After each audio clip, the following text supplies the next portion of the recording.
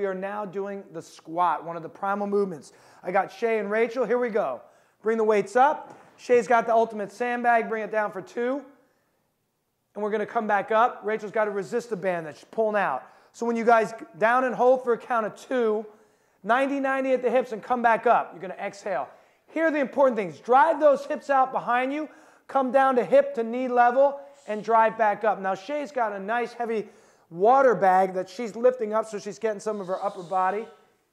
Hold that all the way out and just keep it out. Look, 90-90, she's got the weight on the center of her foot and she comes back up. Got about 20 more seconds. Again, right here, 90-90. Weight, push through the heels as you come up. Notice her hips come all the way out. Hamstring, glutes, thighs, everything's working on this. Now what I want you guys to do is go into an overhead squat position. Come all the way down for a count of two. Notice the weights are now above their head. And time.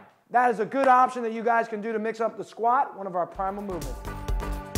Thanks for tuning in. For more workouts, nutrition tips, and motivation, go to 20minutebody.com.